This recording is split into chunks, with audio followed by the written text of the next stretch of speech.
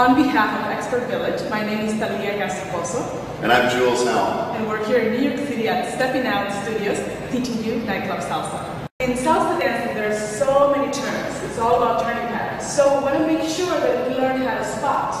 Now, there's many techniques of teaching you how to spot. The simple way when it comes to partner dance is to look at your partner and try to connect with your partner. So let's take this example of the open break turn style. Back break.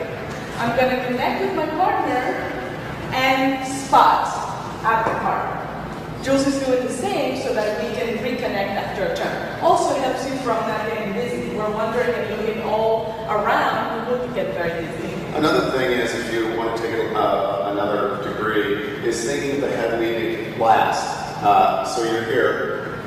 It's the last thing to leave, but the first thing to arrive. So your spot is, I'm watching watch her as long as I possibly can. Up, when my neck can't hold it anymore, I turn and face her again.